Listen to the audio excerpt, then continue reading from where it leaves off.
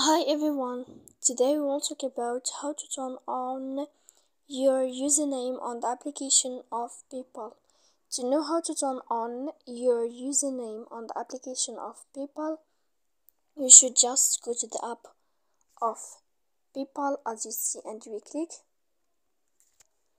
After that in this page, you will go to above and you will click in this window.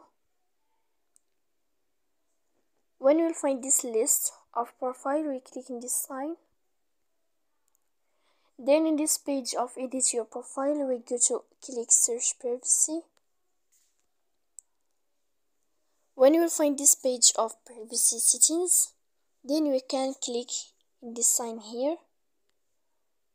And if this sign change the blue color then you can know how to turn on your username on the application of PayPal. So please don't forget to support us by like and uh, subscribe. See you next time on another video and take care.